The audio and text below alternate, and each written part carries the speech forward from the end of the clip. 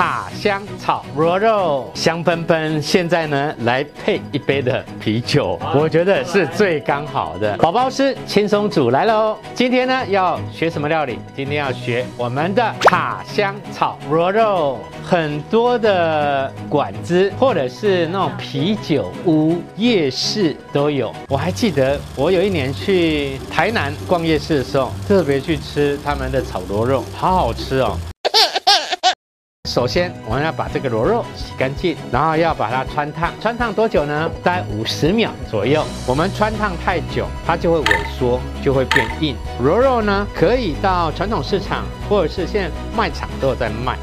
加葱是要去腥？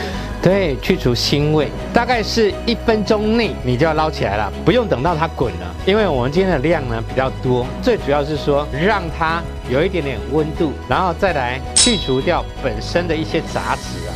今天炒螺肉啊，有两个重点，两个味道的重点。第一个就是沙茶味，另外一个重点就是九层塔。沙茶对，因为螺肉给人家的印象就是就像海鲜一样，就会有一点点腥味，所以说会用比较重的味道去压它。沙茶要炒过它才会香哦。你像海产店呢，这个油啊，油量要非常多，那炒出来才会好吃。在家里的话，你可以选择性呢，就油适量就好了。辣椒加一点点水，然后糖，好来一点酱油。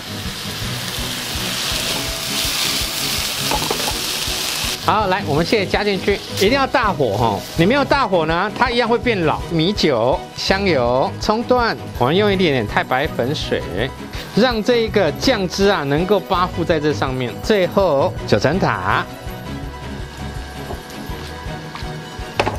来，这样就完成了。我们上桌吧。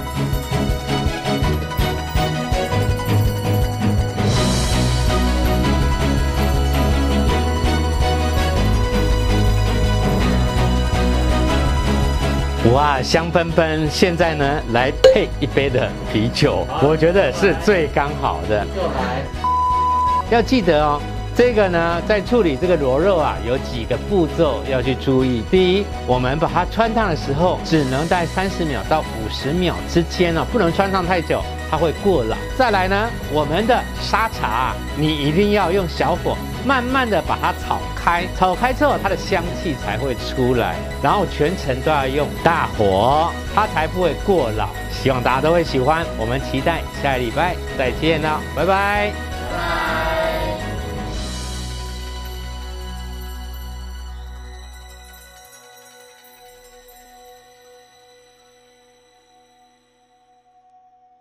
尤其啊，在那个路边摊吼，他们就是有那个快速炉，他们都会炒到着火，就是人家说的锅气啊。炒高丽菜也是一样，都有锅气，就有一股那种烟熏的感觉，那超香超好吃的。